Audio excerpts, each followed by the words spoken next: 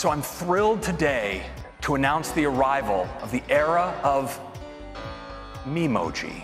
With Memoji, you can create your very own personalized Animoji. These Animoji can look like you or the real you.